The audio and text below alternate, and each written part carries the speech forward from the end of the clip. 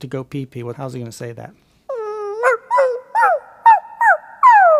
And how about when you're going out to school and he wants to go with you, but he has to stay home? And how about if